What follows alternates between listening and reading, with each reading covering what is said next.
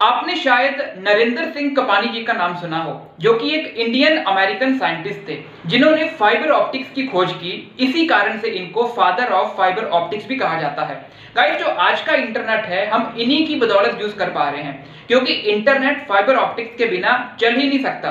Guys पिछले साल 2020 में इनकी 95 ईयर की एज में मृत्यु हो गई, और कल गवर्नमेंट ऑफ़ इंडिया ने इनको भारत के दूसरे सबसे बड़े सम्मान पद्मा विभूषण से नवाजा है और इस सम्मान को रिसीव किया है इनकी पुत्री किरण कपानी जी ने।